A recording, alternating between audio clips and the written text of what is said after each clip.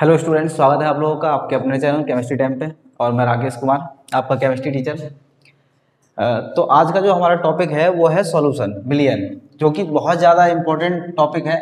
ये जो अभी एग्ज़ाम जो आप लोगों के आठ मई से स्टार्ट होने वाले हैं तो उसके लिए जो है मैं कुछ कुछ टॉपिकों का रिविजन करा दे रहा हूँ। जैसे कि सॉल्यूशन चैप्टर मैंने इसलिए लिया है। एक तो ये सॉल्यूशन सबसे ज़्यादा इंपॉर्टेंट इसलिए बता रहा हूँ सेवन मार्क्स का आएगा इस बार। और बहुत छोटा चैप्टर है, क्योंकि इसमें से ऑलरेडी सिलेबस कम कर दिया गया है। और उसके बाद जो भी, जो टॉपिक बचे हैं, उसमें भी सेवन मार्क्स का, जो कि पहले फाइव या फोर मार्क्स का आता था, इस बार जो है सेवन मार्क्स का चैप्टर है, ठीक है? तो इसमें जो हम रिविजन क्या करेंगे, मैं बताता हूँ। मैं देखो थ्योटिकल तो नहीं पढ़ा रहा अभी, क्योंकि थ्योरी का हमारे पास टाइम नहीं है। मैं आपको न्यूमेरिकल कराऊँगा, और न्यूमेरिकल जो कराऊँगा, बहुत ईजी मेथड से कराऊँगा। जितना आसान हो सकता है, कोशिश करेंगे ट्रिक ट्रिकी मेथड से करें। तो उसके लिए मैंने जो है ना कुछ फॉर्मूले लिखे हैं, जो जिस, जिन टॉपिकों पे न्यूमेरिकल आएगा, उन टॉपिक के लिए मैंने जो है यहाँ फॉर्मूले लिख दिए उन फॉर्मूलों को आप याद कर लीजिए और नेक्स्ट लेक्चर में जो है हम लोग जितने भी न्यूमेरिकल होंगे, उन न्यूमेरिकल्स को कर लेंगे इसी से, ठीक है? तो जैसे इसमें कौन कौन से हम फॉर्मूले याद कर सकते हैं तो इसमें फ़र्स्ट है मोलरता, देखिए, दो चीज़ें होती है, एक होती है मोलरता, एक होती है मोललता, एक है तोतली और एक है बिना तोतली, जैसे ये है मोलरता, मोलेरिटी और ये है मोललता, यानी इसमें मोललता, तोतली तोतली आवाज़ आ रही है तो मोललता, इसको कैपिटल एम से प्रदर्शित करते हैं, इसको स्मॉल एम से प्रदर्शित करते हैं। दो चीज़ें हैं, एक है मोलरता और एक है मोललता।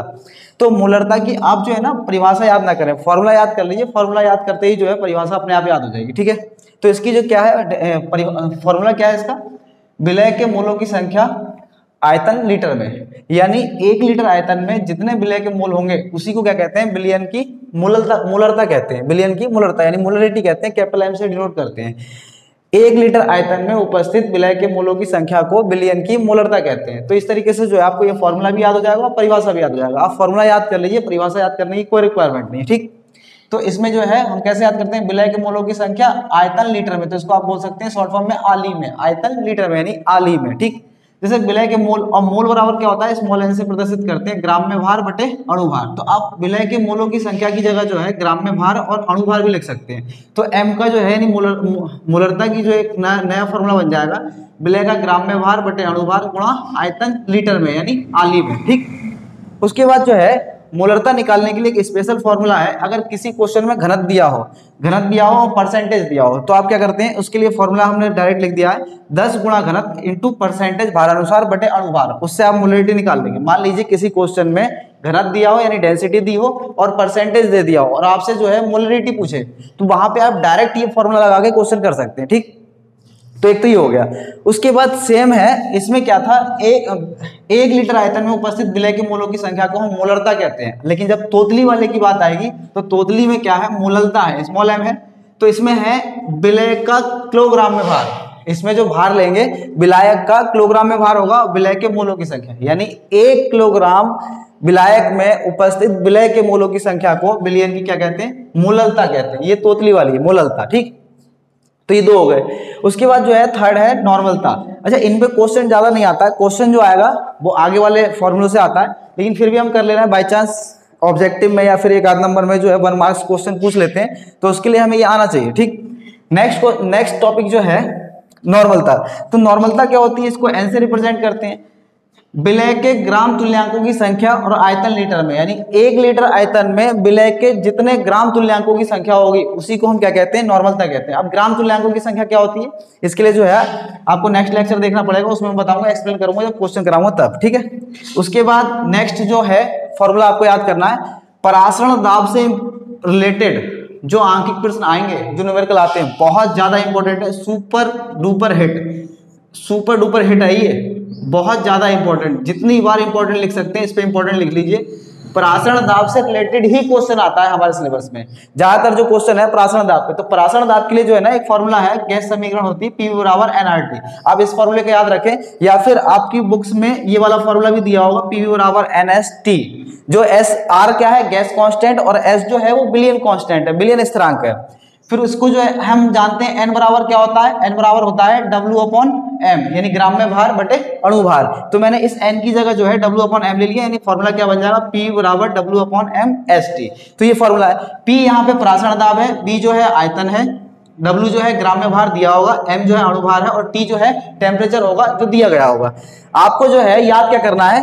ये अच्छा एक चीज़ जो है ना प्राशन दाब वायुमंडल में होना चाहिए। उसके बाद आयतन जो होगा, वो आयतन लीटर में दिया गया होगा, लीटर में होना चाहिए। और भार जो होगा, वो ग्राम में अणुभार तो अणुभार दिया ही होगा। और टेम्परेचर जो है, डिग्री सेंटीग्रेड में देंगे। आपको जो है कैलविन में उसको कन्वर्ट करना होगा। 273 ऐड करके। कैलकुलेट करेंगे। एक चीज़ और नोट करना है कि अगर किसी क्वेश्चन में परसेंटेज दी गई हो, अगर किसी क्वेश्चन में परसेंटेज दिया हो तो वहाँ पर उस परसेंटेज में दो चीज़ें छुपी होती हैं। आप लोग को याद रखना होगा। अगर किसी क्वेश्चन में परसेंटेज दिया हो तो परसेंटेज में हमें दो चीज़ें पता होती है। एक ग्राम में भार में मिल जाएगा और एक जो है उसमें आयतन भी होता है। जब न्यूमेरिकल करेंगे तो मैं आपको बताऊँगा कैसे परसेंटेज में दो चीज़ें होती हैं, ठीक? तो एक आपको ये फॉर्मूला याद करना है। उसके बाद जो है मोलर उन्नयन स्थिरांक निकालने को आता है। मोलर या फिर मोलल तो आपने कुछ टॉपिक पढ़ा होगा, मैं थ्योरी तो पढ़ा नहीं रहा हूँ न्यूमेरिकल कराऊँगा आप लोगों को। तो आप लोगों ने टॉपिक पढ़ा होगा क्वनांक का उन्नयन क्वनांक का उन्नयन हिमांक का अवनमन। इस तरीके से आपने टॉपिक पढ़े होंगे। तो जहाँ क्वथनांक का उन्नयन होता है, वहीं पर मोलर उन्नयन स्थिरांक भी आता है, ठीक है? क्वथनांक का उन्नयन। तो उसके मोलर उन्नयन स्थिरांक निकालने के लिए हम जो है एक मोलर उन्नयन स्थिरांक निकालने के लिए फॉर्मूला होता है, जिससे हम अणुभार निकालते हैं। अणुभार निकालने के लिए फॉर्मूला है किसी क्वेश्चन में। तो उसके लिए क्या होता है, अगर आपको डायरेक्ट फॉर्मूला याद करना है हंड्रेड इंटू के बी जो है यहाँ पे मोलर उन्नयन स्थिरांक है स्मॉल डब्ल्यू डेल्टा टीबी और W capital W capital W अब इसका मीनिंग क्या है बताते हैं। डेल्टा टीवी जो है वो पथनांक में उन्नयन है और एम जो है वो अणुभार है। उसके बाद सौ गुणा केबी केबी क्या है? मोलर उन्नयन स्थान।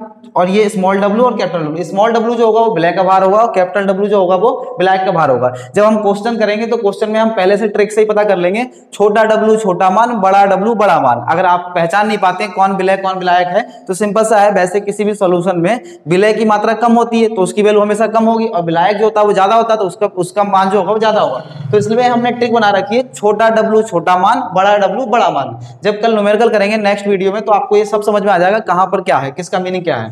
ये तो मोलर उन्नयन स्थिरांक की बात है, लेकिन मोलर उन्नयन स्थिरांक की जगह अगर आपसे मोलल पूछ ले, यानी तोतली वाली पूछ ले, मोलल उन्नयन स्थिरांक उस केस में कुछ नहीं करना, जहाँ के बी है, वहाँ के बी डैश आ जाएगा, और जहाँ 100 था, वहाँ पे 1000 आ जाएगा, एक एक हज़ार। बाकी सब कुछ सेम रहेगा सेम केस जैसे क्वथनांक के उन्नयन में ये वाले फॉर्मूले हैं, दो मोलर उन्नयन स्थिरांक और मोलल उन्नयन स्थिरांक इसी तरीके से जब हम हिमांक का अवनमन पढ़ेंगे तो हिमांक के अवनमन में भी सेम होगा, बस जहाँ पे के बी है, वहाँ पे के एफ़ आएगा। क्यों? क्योंकि फ्रीजिंग पॉइंट होता है तो एफ़ यहाँ बी का मतलब क्या है? बॉइलिंग पॉइंट यानी क्वथनांक का उन्नयन।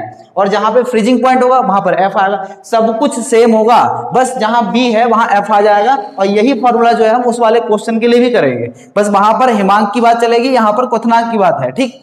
तो अगर आप लोगों ने इतने फॉर्मूले अगर याद कर लिए, इस क्वेश्चन में अगर आपने इतने फॉर्मूले याद कर लिए इस चैप्टर में तो ये पूरा चैप्टर सात नंबर का है। तो देखिए थ्योरी तो इसमें ज़्यादा इंपॉर्टेंट नहीं है। थ्योरी इसलिए इंपॉर्टेंट नहीं है कि थ्योरिटिकल पार्ट है ही नहीं। जैसे थ्योरी में क्या सकता है? परासरण विसरण, उसके बाद जो है राउल का नियम। अच्छा इसमें कुछ एक टॉपिक जो है राउल का नियम रह गया, उस पर उससे रिलेटेड भी हम क्वेश्चन करेंगे। तो जितने क्वेश्चन होंगे मैं न्यूमेरिकल कराऊँगा क्योंकि न्यूमेरिकल 110 परसेंट इस वाले टॉपिक से आएगा। क्यों आएगा? क्योंकि ये सेवन मार्क्स का है और सेवन मार्क्स का है थ्योरी इस चैप्टर में ज़्यादा है नहीं। जब थ्योरी नहीं है तो आने के चांस क्या है? न्यूमेरिकल आने के ज़्यादा चांस है। तो न्यूमेरिकल हंड्रेड इस चैप्टर से ज़रूर आएगा, दो नंबर टू मार्क्स का या फिर थ्री मार्क्स का। यहाँ से ज़रूर आएगा। उसके बाद जो है ना, इस बार न्यूमेरिकल जो है, लगभग ट्वेल्थ मार्क्स के आपके बोर्ड के एग्ज़ाम में आने हैं। बारह नंबर की जो न्यूमेरिकल है, वो ज़रूर आएँगे।